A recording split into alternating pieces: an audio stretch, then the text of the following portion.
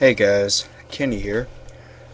With the Pirates of the Caribbean on Stranger Tides now playing, I think I'll review the first three. Uh, so I'll start with Pirates of the Caribbean, The Curse of the Black Pearl. I th- think this has to do with Will Turner having this uh,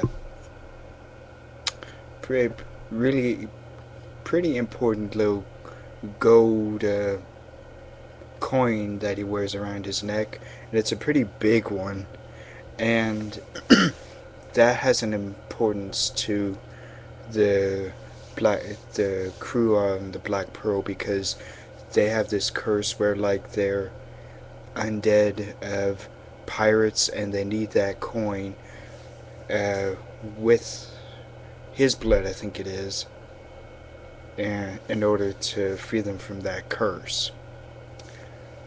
That's basically what that's the main story, but also those pirates uh,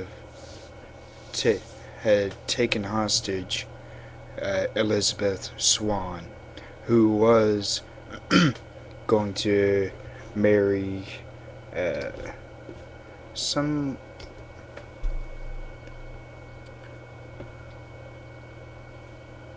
she was going she was meant to marry someone else. Uh she was meant to marry someone in the uh jet uh captain norrington that's who okay i remember. Uh she was meant to marry him but then will started really getting to like her. Will turner was really starting to like elizabeth swann and the pirates took her hostage, so he has Captain Jack Sparrow help him to try and save Elizabeth from the pirates. That's, I think that's basically what the storyline of The Curse of the Black Pearl is. This is definitely my favorite out of the three films. The very first three I love this one the most. It's it doesn't have a whole lot more involved with the plot like uh, the other two do, which I think is why they're pretty confusing. At least to me, they were a little confusing. But this one had a straightforward plot and it was easy to follow. You didn't have to try and keep up with a bunch of other little subplots going on. It had one storyline and it stuck with that. I loved the action sequences in this, especially the sword fighting.